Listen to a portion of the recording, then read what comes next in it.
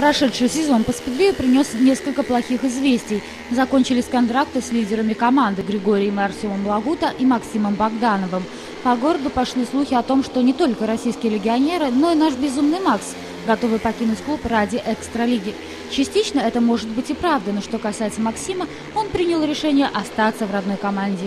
Много было предложений, в том числе и с экстралиги было предложение. Э, я думаю, все-таки это спасибо руководству клуба, Владимир Васильевич Рыбников выполнил все условия, э, данные в моем контракте, именно которые хотел я. Не было препятствий отказываться от этого.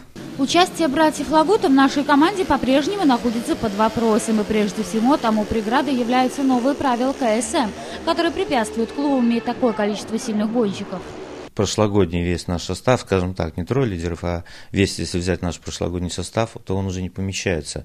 Уже получается средний балл больше, чем положено. Вот, и поэтому, что наверняка нам придется с кем-нибудь прощаться.